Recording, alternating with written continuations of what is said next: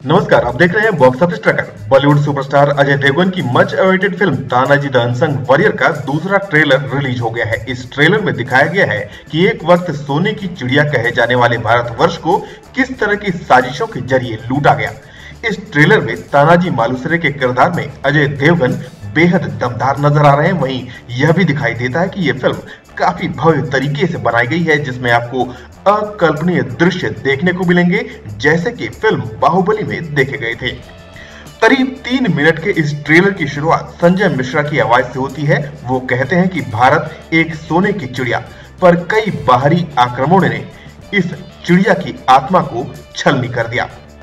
दूसरे ट्रेलर में गजब के डायलॉग सुनाई देते हैं और दिखाई देते हैं युद्ध की तैयारी और युद्ध के हैरत अंगेज नजारे।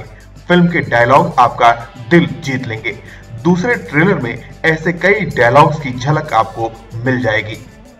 फ़िल्म मातृभूमि के प्रति अथाह प्रेम की भावना से भरी है और इसे देखते हुए आप गर्व का भी अनुभव करेंगे।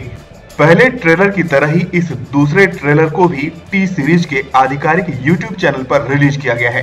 ट्रेलर को फैंस का काफ़ी अच्छा रिस्पांस मिला है। पहले तीन घंटे में ही इसे करीब पाँच लाख लोग देख चुके थे। फ़िल्म तानाजी द वॉरियर अगले महीने 10 जनवरी को रिलीज़ हो रही है। इस फ़िल्म में अजय देवगन, तानाजी मालूसरे के किरदार में है तो काजोल, उनकी पत्नी सावित्रीबाई मालूसरे के किरदार में।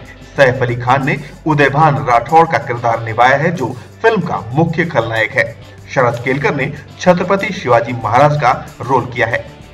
ये फ़िल्म बॉक्स ऑफ़िस पर ज़रूर कमाल करेगी, इतना पक्का है। इस फ़िल्म को महाराष्ट्र में राज ठाकरे की पार्टी, महाराष्ट्र नव निर्माण सेना ने भी सपोर्ट किया है।